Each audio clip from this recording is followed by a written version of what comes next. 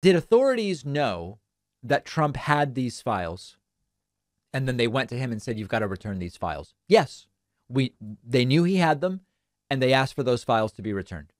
Did Donald Trump return them? The answer is no. We know that because they found files when they executed the search warrant at Trump's Mar a Lago.